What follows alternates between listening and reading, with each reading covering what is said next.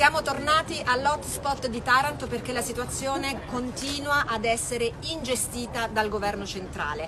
20 eh, immigrati tunisini sono scappati da questo hotspot che è assolutamente inadeguato a contenere eh, gli immigrati, altri 20 ne sono scappati due giorni fa da Brindisi. Questo fa capire come la situazione sia assolutamente ingovernabile. Tutto questo mentre gli uomini delle forze dell'ordine a Taranto sono costretti a eh, lavorare in condizioni igienico-sanitarie eh, assolutamente terribili. Abbiamo chiesto al prefetto eh, di mettere delle coperture per dare la possibilità agli uomini eh, delle forze dell'ordine di avere un po' di ombra, adesso andremo a verificare se questo è stato fatto, abbiamo chiesto i servizi sanitari igienici che non ci sono e in tutto questo il sindaco di Taranto Melucci e il presidente Emiliano sono assolutamente assenti. In questo momento gli sbarchi in Italia sono triplicati, arrivano dalla Libia, dai Balcani ma soprattutto dalla Tunisia dove non c'è guerra, quindi sono immigrati che non avranno comunque diritto a rimanere sul territorio italiano. Il ministro Lamorgese fra qualche giorno si recherà in Tunisia, Fratelli d'Italia chiede che il ministro